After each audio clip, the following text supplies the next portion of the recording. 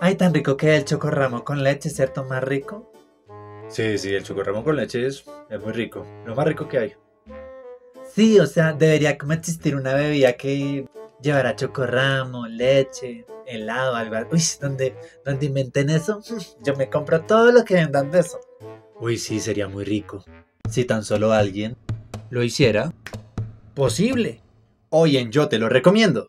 Te enseño a preparar una malteada de nuestro exquisito chocorramo. Ay, pero usted se dice unas bobadas, no es que eso es un pon que eso se deshace y se vuelve así como polvo, eso no tiene sentido. No te preocupes, porque justamente pensando en eso, dejamos previamente guardado nuestro chocorramo en el congelador.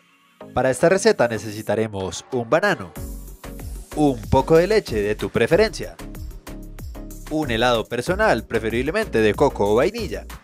Usaremos también un poco de avena en hojuelas, medio vaso de agua, un paquete personal de galletas Oreo y el ingrediente más importante, nuestro infaltable chocorramo. Ay, no, pero a mí se me quema hasta el agua. Eso no es impedimento, puesto que en esta receta únicamente necesitaremos una licuadora. Lo primero que haremos será destapar nuestra licuadora. Paso seguido agregaremos nuestro medio vaso de agua. Luego adicionaremos vaso y medio de leche. Alistaremos nuestra tabla para picar seguido de nuestro banano y un cuchillo. Según la cantidad que quieras de dulce puedes adicionar medio banano o un banano entero. En este caso le pondremos un banano entero. Una vez terminado de picar nuestro banano, incorporaremos todos los trozos dentro de la licuadora. Agregaremos también una y dos cucharadas de nuestra avena en hojuelas. En este paso agregaremos nuestro helado retirándole previamente su palito personal. Y como último ingrediente, nuestro delicioso choco ramo. Este es un ponqué que lleva acompañando a los colombianos desde el año 1950, en donde una pareja de emprendedores compuesta por el señor Rafael Molano y su esposa Ana Lucía Camacho crearon uno de los postres más queridos por todos los colombianos. En este siguiente paso, lo que haremos será tomar nuestro chocorramo e intentarlo partir lo que más se pueda en cuadros pequeños. Y así poder facilitar un poco la etapa del licuado.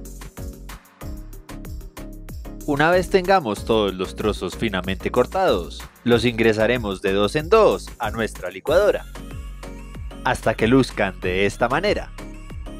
Taparemos nuestra licuadora y batiremos durante aproximadamente unos 40 segundos hasta que nuestra malteada tenga un aspecto así. Como penúltimo paso tomaremos nuestro paquete de galletas Oreo y a cada una de nuestras galletas le comenzaremos a retirar muy delicadamente su crema blanca. Luego nos valdremos de nuestro paquete de galletas Oreo completamente vacío e ingresaremos todas las galletas negras en donde comenzaremos a triturarlas hasta que queden hechas completamente polvo. Alistaremos nuestro vaso para malteada y serviremos nuestro delicioso batido hasta la cúspide del vaso. Y como último paso tomaremos nuestras galletas Oreo hechas polvo y pondremos una capa gruesa hasta decorar de esta manera. Y así es como culminará la deliciosa preparación del día de hoy, nuestra malteada de chocorramo. Bueno, una vez culminada nuestra receta de hoy, nos disponemos a probar nuestra deliciosa malteada de chocorramo. Yo lo voy a probar en esta ocasión con un pitillito, vamos a ver qué tal nos quedó. Uf. Tienen que probarla, es deliciosa. Está muy rica.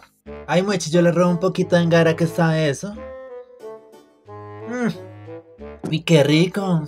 Aunque yo le pondría por ahí unos 2, 3 chocorramos más o menos. Muchas gracias por haber llegado hasta el final del video. Recuerda que puedes suscribirte. Si te gustó esta receta, puedes apoyarme con un like. Compártala por ahí con un amigo, un familiar.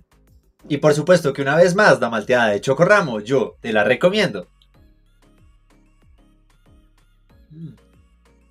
Y déjame saber en los comentarios tú cómo la hubieras hecho. Salud y nos vemos en una próxima. Ay, espere, espere. Al que me salude por ahí en un comentario, pues Yo le puedo estar mandando mi WhatsApp ahí por el DM de pronto. Un cinecito, una salida, alguna cosa. Bueno, ahora sí, chao.